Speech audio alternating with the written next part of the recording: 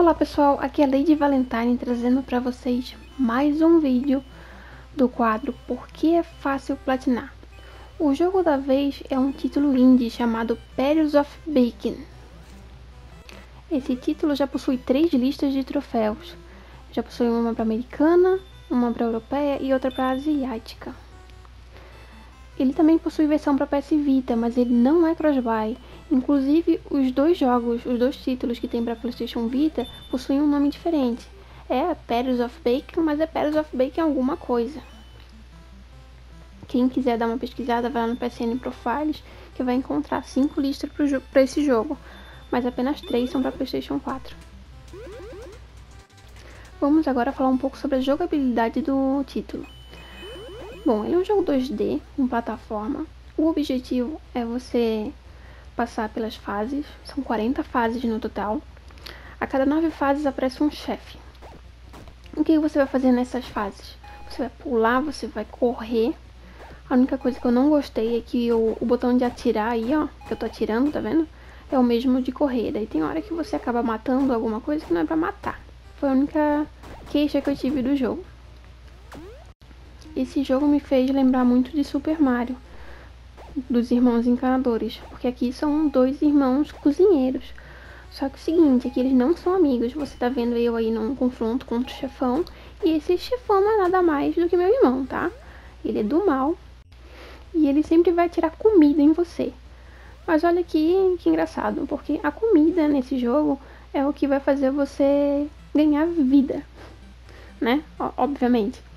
Aí, quando você consome vida o suficiente, vida o bastante para adquirir coraçõezinhos, que são a cada 50 no número de comida você ganha um coração. E com quatro corações você ganha o chapéu de cozinheiro. Com o chapéu de cozinheiro, o que, que acontece? Você consegue atirar coisas nos adversários, o que facilita muito na hora de jogar, tá bom? Então sempre que você puder, mantenha o seu chapéuzinho, porque vai se facilitar muito. Muitas vezes vai ser necessário você retornar ao início da fase para conseguir de novo o chapéu e facilitar na passagem daquela determinada fase. O legal desse jogo é que ele é muito variado. Ele tem fases com carrinho, tem chefões, tem fase com balões, tem fase na água e tem fases normais, que é só pular e correr. Agora vamos falar o que é necessário para platinar esse jogo. Bom, ele não é tão fácil quanto os últimos jogos que eu mostrei aqui para vocês. Eu diria que a dificuldade dele é de fácil para mediano, porque teve alguns momentos que eu realmente me senti desafiada nesse jogo. O tempo para essa platina deve variar em torno de 2 a 3 horas, distribuído em 40 fases. O jogo possui mais de 40 fases, mas vai ser apenas necessário 40 para você platinar. Quer dizer, com uma pequena correção que eu já vou explicar. São 40 fases. Dentro dessas 40 fases tem quatro chefões. Mas muitas dessas fases, no, no mundo aberto, você vai perceber que a portinha tem um ponto de interrogação.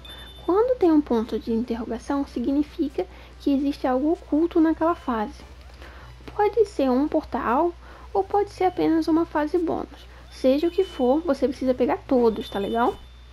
Não é difícil, eu não usei guia em momento algum para platinar esse jogo, galera. Então, se vocês forem com calma e prestarem atenção, vocês vão encontrar essas partes ocultas. Porque é o seguinte, existem pistas para chegar até elas. Muitas vezes tem uma moedinha, quer dizer, não é moeda aqui, né? Comida, é biscoito. Tem um biscoito num lugar, digamos aqui, ó, nesse precipício que eu tô aqui. Se tem um, um biscoitinho ali na parte de baixo, significa que eu vou poder pular ali, que tem uma fase bônus escondida ali. E é assim que você vai perceber. Às vezes você vai encontrar um buraco com o inimigo atirando. Um buraco assim na lateral. Aí você atira nesse inimigo e entra no buraco. E ali vai ter o quê? Vai ter uma fase bônus. Então é só prestar atenção nos detalhes que você deve encontrar todas essas fases bônus. Nesses bônus que você vai encontrar, quatro fases secretas vão aparecer e é necessário completar essas quatro fases secretas para conseguir platinar o jogo. Então, ao todo, eu diria que são 44 fases que você precisa fechar. importante deixar claro que não existe nada perdível nesse jogo, tá bom?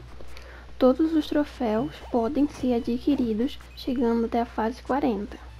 Como o mundo é aberto igual Super Mario, você pode repetir as fases quantas vezes quiser. E os coletáveis são esses biscoitos que a gente adquire durante, o, durante as fases. Só que o seguinte, você precisa de 10 mil biscoitos, mas se você pegar um donut vale menos 10, se você pegar um saco de pipoca vale 50. Então você arrecada muito fácil. Eu tava um pouco um pouco mais adiante da fase 20 e já tinha conseguido a quantidade necessária para o troféu máximo, que era de 10 mil biscoitos. Fora isso, você ganha troféu ao derrotar chefões, ao encontrar fases secretas, ao terminar fases secretas, entre outras coisas, como pular em 4 ou 5 inimigos, assim, um na sequência do outro. Mas existem fases que você vai ser obrigado a pular na cabeça de 5 seguidos, então é muito tranquilo. Eu só gostaria de deixar. Na verdade, gostaria de chamar atenção para alguns troféus que me deram um pouquinho de trabalho. Não que me deram trabalho, mas que eu conquistei por último. Tem um que é de cair um daquelas. Aqueles, aquelas tríades de gelo que cai do teto, sabe? Esqueci o nome daquilo. E quando cai, você tem que atirar antes dela cair no chão. Eu consegui esse troféu na quarta fase secreta. Vocês também devem conseguir, porque lá cai muito e você vai estar com o balão e vai poder tirar à vontade. Fica muito fácil de acertar. E a outra que ficou por último pra mim foi a de ser engolido por um peixe no mundo aberto.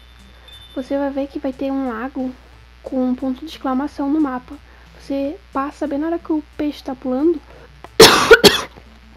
que vai dar tudo certo. Me deu um ataque tosse. E, gente, eu não posso mais cortar os clipes do Share Factory. Eu vou ter que continuar assim mesmo, vocês me perdoem. Mas é isso, pessoal. Até a próxima e tchau, tchau.